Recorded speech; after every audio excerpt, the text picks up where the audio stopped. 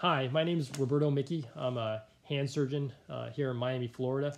And uh, I have a relatively simple solution uh, for some of the personal protective equipment shortages that we have in this country and perhaps you know across the world.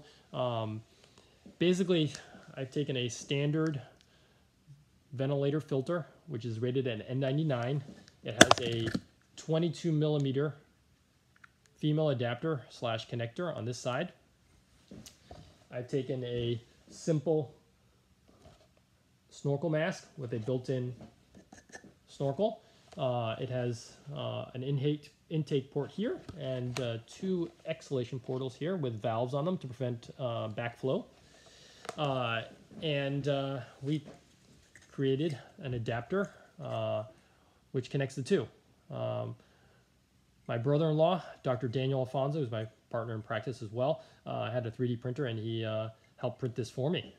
Um, and we uh, basically built this on a, uh, uh, or modeled this on a um, Fusion 360, um, which is a, just a 3D modeling program, uh, and created this. Um, but you can, we'll, we have the files, the 3D files for this, and we're going to be happy to provide this you know, free of charge to anybody who wants it. Um, and we're going to try to build for other masks. For example, this one uh, is another mask that we found online. It's this one was $26. The one that I'm going to show you right now is $29. Um, but this one is uh, has a unique uh, another uh, kind of nice feature is that this one has an inhalation port in the middle, but has the exhalation portal through the same snorkel. So uh, when we build the adapter for this one, it should have filtration for both inhalation and exhalation, which is going to be uh, sorry probably better for most people. So you're not also uh, you know contaminating other people if you happen to have it uh, or don't know you have it. Uh, but for sort of demonstration purposes, uh, you know of the power of a 3D printer and also uh, just a little time.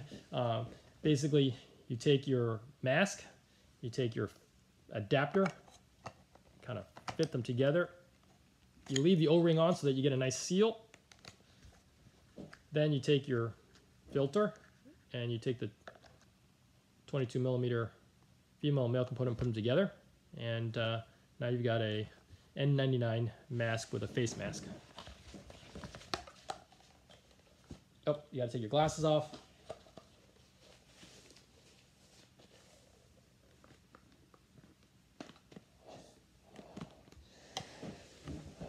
And like any mask, you have to do a fit test. So take the filter off, put your hand on top, inspire, there's no leak. That means you have a good fit. Next, you put your filter on, because you want to check the seal there too. No leak until I let go. So that means you've got a good fit and you're protecting yourself. So, you know, this is a relatively cheap and um, simple solution uh, to protecting your face and your mouth and nose uh, from this virus. Um, and hopefully it helps a lot of people. And um, uh, this is cheap. This is $29.